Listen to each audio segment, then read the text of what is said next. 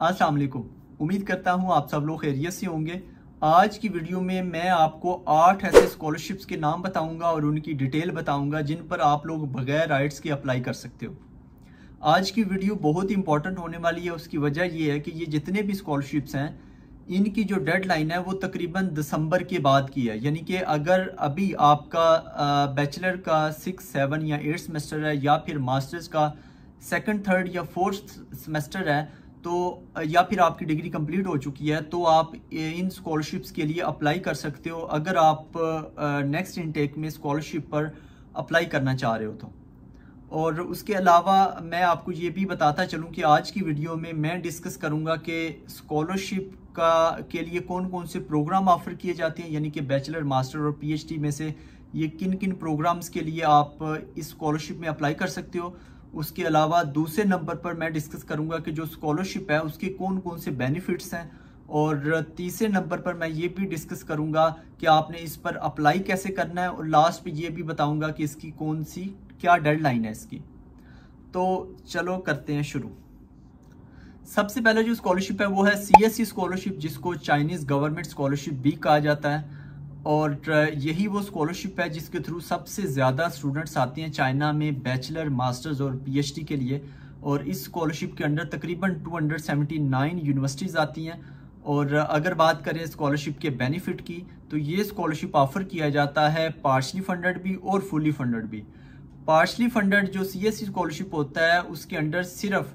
جو tuition fee ہے وہ ویو آف ہوتی ہے، جبکہ فلی فنڈڈ میں جو بینیفٹس ہوتے ہیں، ان میں سب سے پہلا ٹیوشن فی ویو آف ہوتی ہے۔ دوسرے نمبر پر آپ کی جو اکوموڈیشن ہے، وہ آپ کی فری ہوتی ہے۔ تیسرے نمبر پر آپ کی جو ہیلتھ انشورنس ہے، وہ ہوتی ہے۔ اور چوتھے نمبر پر آپ کو منتھلی سٹائپنڈ دیا جاتا ہے fully funded scholarship C S S کے تھرو اور اگر سٹائپنڈ کی بات کریں تو سٹائپنڈ میں ماسٹرز کو ماسٹر کا جو اسٹوڈنٹ ہوتا ہے اس کو تقریباً 3000 آر ایم بی جو کہ پاکستانی روپوں میں تقریباً ایک لاکھ بیس ہزار روپے بنتے ہیں، جبکہ پی ایچ ڈی کے لیے تقریباً 3500 R M B per month جو کہ پاکستانی روپوں میں تقریباً ایک لاکھ چالیس ہزار روپے بنتے ہیں۔ اور اس کے بعد اگر بات کریں کہ اپلائی کیسے کرنا ہے، تو اس پر اپلائی کرنے کے بیسیکلی تین طریقے ہیں جس کو ٹائپ اے، ٹائپ بی اور ٹائپ سی کہا جاتا ہے۔ ٹائپ اے ہوتا ہے کہ آپ نے ایچ ای سی کے تھرو اپلائی کرنا ہوتا ہے اور ٹائپ بی ہوتا ہے، وہ ہوتا ہے ڈائریکٹ یونیورسٹی یعنی کہ آپ نے یونیورسٹی کے پورٹل پر اپلائی کرنا ہے اور سی ایس سی کے پورٹل پر آپ نے اپلائی کرنا ہے اور جو ٹائپ اے ہے، اس میں آپ نے ایچ ای سی کے پورٹل پر اپلائی کرنا ہوتا ہے اور سی ایس سی کے پورٹل پر اپلائی کرنا ہوتا ہے اور اگر آپ ٹائپ اے کے تھرو اپلائی کرتے ہیں، تو آپ کے پاس ہیٹ ٹیسٹ جو کہ ایچ ای سی کنڈکٹ کرتی ہے، اس کا سکور وہ پاس ہونا چاہیے یعنی کہ ایک ہوتا ہے ٹائپ سی ٹائپ سی ہوتا ہے امبیسی کے تھرو تو یہ جو تین ٹائپس میں نے آپ کو بتائی ہیں، آپ صرف ایک یونیورسٹی میں اپلائی کر سکتے ہو اس اسکالرشپ کے تھرو اس کے بعد اگر اس کی ڈیڈ لائن کی بات کی جائے تو اس کی جو ڈیڈ لائن ہے وہ ویری کرتی ہے یونیورسٹی ٹو یونیورسٹی مطلب یہ کہ اس اسکالرشپ کے انڈر تقریباً 279 یونیورسٹیز ہیں تو ہر یونیورسٹی کی سی ایس سی کے لحاظ سے جو ڈیڈ لائن ہے وہ ویری کرے گی اور یوزلی جو ڈیڈ لائن ہوتی ہے وہ جنوری سے لے کر تقریباً مارچ، اپریل تک ہوتی ہے۔ بعض اوقات مئی تک بھی ہوتی ہے۔ تو آپ نے جو بھی یونیورسٹی کی ڈیڈ لائن ہو، اس حساب سے آپ نے یونیورسٹی کے پورٹل پر بھی اور سی ایس سی کے پورٹل پر بھی آپ نے اپلائی کرنا، اگر آپ ٹائپ بی کے تھرو اپلائی کرنا چاہ رہے ہو تو۔ تو یہ تھا سارا سی ایس سی کے حوالے سے۔ اس کے بعد جو سیکنڈ اسکالرشپ ہے وہ ہے ٹرکی برسلاری اسکالرشپ یہ اسکالرشپ آفر کیا جاتا ہے بیچلر ماسٹرز اور پی ایچ ڈی کے لیے اور اس کے علاوہ اگر اس کے بینیفٹس کی بات کریں تو اس میں سب سے پہلے آپ کی ٹیوشن فی ویو آف ہوتی ہے، اس کے بعد سیکنڈ نمبر پر آپ کا جو اکوموڈیشن ہے وہ فری ہوتی ہے تھرڈ نمبر پر آپ کی ہیلتھ انشورنس ہوتی ہے، اس کے بعد چوتھے نمبر پر آپ کو منتھلی سٹائپنڈ دیا جاتا ہے اور پانچویں نمبر پر آپ کا ون ٹائم آپ کا ریٹرن ٹکٹ بھی اس میں انکلوڈ ہوتا ہے۔ اور اس کے علاوہ اگر اس میں اپلائی کیسے کرنا ہے تو آپ نے اپلائی ان کی ایک آفیشیل ویب سائٹ ہے، اس پر آپ نے ڈائریکٹ اپلائی کرنا ہوتا ہے اور اس کی جو یوزلی ڈیڈ لائن ہوتی ہے وہ فیبرری کی ہوتی ہے یعنی کہ فیبرری سے پہلے پہلے آپ نے اس پر اپلائی کرنا ہے اور اپلائی کرنے کے بعد ان کا ایک انٹرویو بھی ہوتا ہے اور انٹرویو کے بعد ان کی سلیکشن ہوتی ہے۔ اس کے بعد جو تیسرا اسکالرشپ ہے وہ ہے K N B scholarship Indonesia یہ اسکالرشپ آفر کیا جاتا ہے بیچلر ماسٹرز اور پی ایچ ڈی کے لیے۔ اور جو نمبر آف اسکالرشپس ہیں کے این بی اسکالرشپ میں اس میں ماسٹرز کے کافی زیادہ اسکالرشپ ہیں ایز کمپیئر ٹو بیچلر اور پی ایچ ڈی اس کی این بی اسکالرشپ کے انڈر جو بیچلر کے لیے scholarship number of scholarship offer کیے جاتے ہیں وہ ہے تقریباً تیس یعنی کہ تھرٹی اور ماسٹرز کے لیے تقریباً ون ہنڈریڈ سکسٹی ٹو اور پی ایچ ڈی کے لیے تقریباً تیس یعنی تھرٹی اور اس کے علاوہ اگر اس کے اسکالرشپ بینیفٹ کی بات کی جائے، اور اس کے علاوہ میں آپ کو یہ بھی بتاتا چلوں کہ اس کے انڈر تقریباً تھرٹی ون یونیورسٹیز آتی ہیں جن میں آپ لوگ اپلائی کر سکتے ہو۔ اس کے علاوہ اگر اس کے اسکالرشپ بینیفٹ کی بات کی جائے تو اس میں ٹیوشن فی ویو آف ہوتی ہے اور اس کے علاوہ آپ کو اکاموڈیشن فری ملتی ہے۔ اس کے بعد آپ کی ہیلتھ انشورنس ہوتی ہے، آپ کو منتھلی اسٹائپنڈ ملتا ہے۔ اور ون ٹائم آپ کا جو uh, ٹریولنگ کاسٹ ہے یا ٹریولنگ الاؤنس ہے وہ بھی آپ کو ملتا ہے۔ اور اس پر آپ نے اپلائی کیسے کرنا ہے؟ آپ نے ان کی جو آن لائن ویب سائٹ ہے کے این بی کی، اس پر آپ نے جا کر اپلائی کرنا ہوگا اور اس کی جو ڈیڈ لائن ہوتی ہے وہ یوزلی جنوری سے فیبرری کے درمیان ہوتی ہے۔ اس کے بعد چوتھے نمبر پر جو اسکالرشپ ہے وہ ہے اٹلی کی جو یونیورسٹیز ہیں وہ آفر کرتی ہیں۔ وہ تقریباً ہر یونیورسٹی میں آپ اپلائی کر سکتے ہو اسکالرشپس کے اوپر اور یہ جو ایڈمیشن ہے اٹلی کی یونیورسٹیز میں وہ اوپن ہوتے رہتے ہیں بلکہ آج کل بھی کافی ساری یونیورسٹیز میں اسکالرشپس کے لیے آپ اپلائی کر سکتے ہو اٹلی میں بغیر آئٹس کے اور اس کے علاوہ ان جو یونیورسٹیز کے اسکالرشپس ہیں ان سے ہٹ کے اٹلی میں ایک اسکالرشپ ہے جس کو کہتے ہیں D S U regional scholarship Italy اور اس اسکالرشپ کے اندر تقریباً چھ اٹلی کی یونیورسٹیز آتی ہیں اور اگر اس اسکالرشپ کے بینیفٹ کی بات کریں تو اس میں آپ کو آپ کی جو ٹیوشن فی ہے وہ ویو آف ہوتی ہے۔ اس کے علاوہ آپ کی اکوموڈیشن آپ کی ہیلتھ انشورنس آپ کو منتھلی سٹائپنڈ یہ سارے آپ کو بینیفٹس ملتے ہیں۔ اور ڈی ایس یو اسکالرشپ پر اپلائی کرنے کے لیے آپ کو پہلے ان چھ یونیورسٹیز میں اپلائی کرنا ہوگا۔ اگر ادھر سے آپ کا ایڈمیشن ہو جاتا ہے اور آپ کو جو ایڈمیشن نوٹس ہے یا ایڈمیشن لیٹر ہے وہ مل جاتا ہے، تو پھر آپ یہ جو ڈی ایس یو اسکالرشپ ہے، اس پر آپ اپلائی کر سکتے ہو۔ اور اس کی جو ڈیڈ لائن ہے وہ ماسٹرز کے لیے سپتمبر ہے تقریباً، اور پی ایچ ڈی کے لیے ہوتی ہے نومبر یعنی کہ آپ ابھی بھی ماسٹرز کے لیے اپلائی کر سکتے ہو۔ سو یہ تھا اٹلی کا اور اٹلی کا دوبارہ میں آپ کو بتا دوں کہ جو دوسری یونیورسٹیز ہیں، بہت زیادہ یونیورسٹیز ہیں، ان میں ابھی بھی ایڈمیشن اوپن ہے، آپ اس میں اپلائی کر سکتے ہو۔ اس کے بعد پانچویں نمبر پر جو اسکالرشپ ہے، وہ ہے اسٹائپینڈیم ہنگری کم اسکالرشپ اور یہ اسکالرشپ آفر کیا جاتا ہے ہنگری گورنمنٹ کی جانب سے۔ اور اگر آپ پاکستان میں ہیں تو اس اسکالرشپ پر آپ نے کیسے اپلائی کرنا ہے وہ میں آپ کو بعد میں بتاتا ہوں، لیکن میں آپ کو بتا دوں کہ یہ جو اسکالرشپ ہے، یہ بیچلر ماسٹرز اور پی ایچ ڈی کے لیے ہے۔ اور اس میں جو نمبر آف یونیورسٹیز ہیں، وہ ہے تقریباً تھرٹی یونیورسٹیز ہیں جن میں آپ اپلائی کر سکتے ہو۔ اور تقریباً ایٹ ہنڈریڈ ڈگری اور نان ڈگری پروگرامز ہیں جن میں آپ لوگ اپلائی کر سکتے ہو اس اسکالرشپ کے تھرو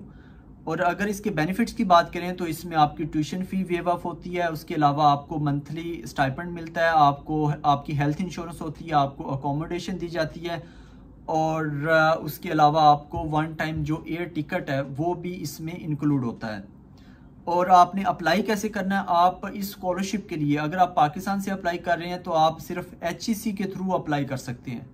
یعنی کہ آپ کو ہیڈ ٹیسٹ پاس کرنا ہوگا، اس کے بعد آپ کو ایچ ای سی کے پورٹل پر اور ان کا جو اسکالرشپ کا پورٹل ہے،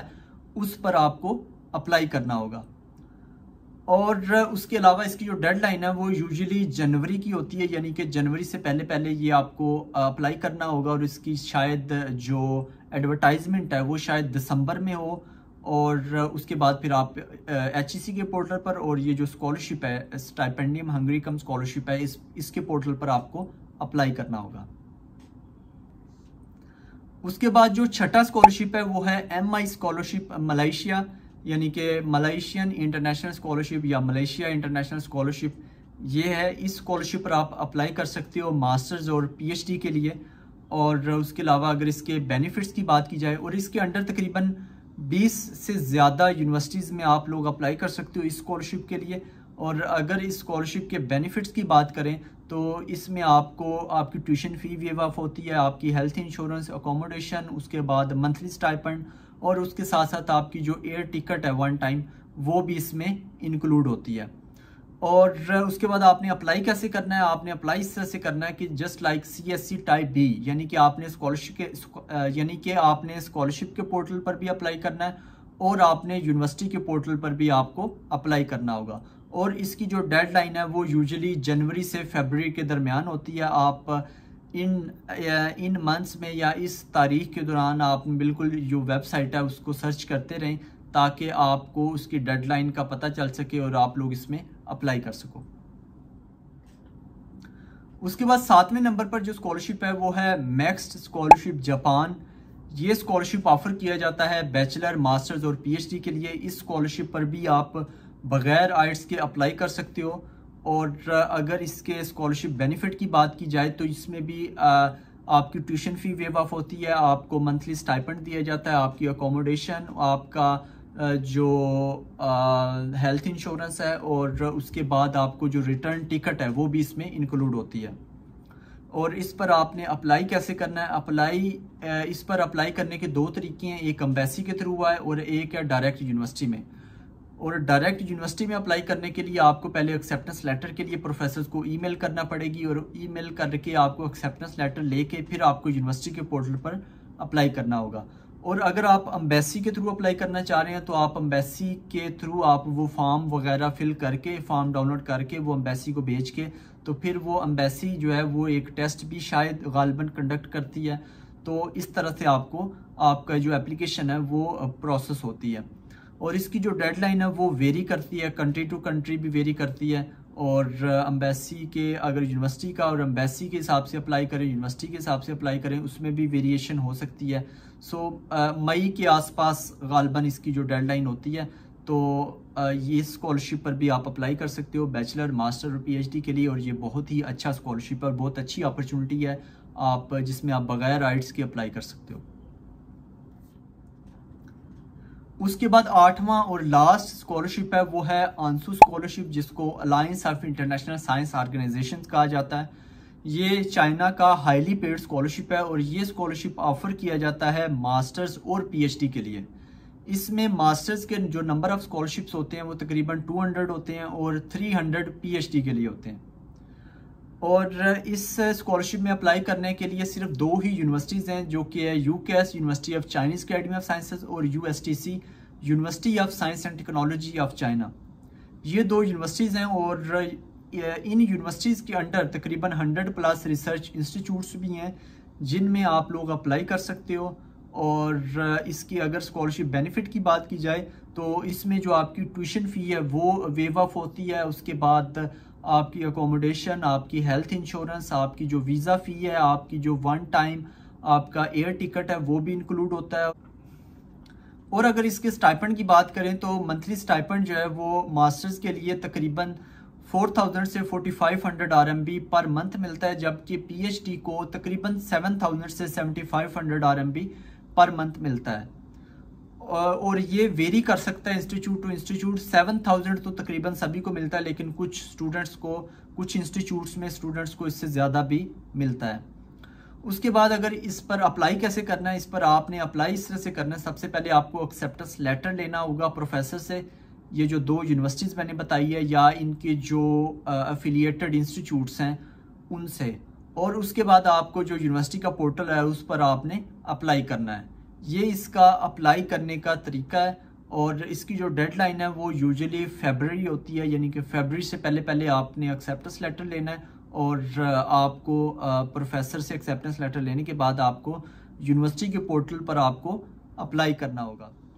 یہ تھے وہ آرٹس اسکالرشپ جن پر آپ بغیر آرٹس کے اپلائی کر سکتے ہو۔ اور آنے والے دنوں میں میں یہ جو میں نے آرٹس اسکالرشپ بتائے ہیں، ایک ایک اسکالرشپ پر میں ڈیٹیل کے ساتھ ویڈیوز بناؤں گا اور آپ کو گائیڈ کروں گا کہ کس طریقے سے آپ ان پر اپلائی کر سکتے ہو، کس طریقے سے آپ نے اپلیکیشن کو پروسیس کرنا ہے۔ تو یہ ساری چیزیں آپ کو ڈیٹیل کے ساتھ ایک ایک اسکالرشپ کو میں علیحدہ سے سیپریٹلی کمپلیٹ ویڈیو بناؤں گا۔ اور لہٰذا جو ہے وہ چینل کو لازمی سبسکرائب کر لیں۔ یہ تھی آج کی ویڈیو اور امید کرتا ہوں کہ یہ جو میں نے آرٹ اسکالرشپ بتائے ہیں، ان سے آپ کو کافی فائدہ ملے گا۔ آپ کے جو اگر آپ اسکالرشپ کے لیے اپلائی کرنا چاہتے ہیں نیکسٹ انٹیک کے لیے۔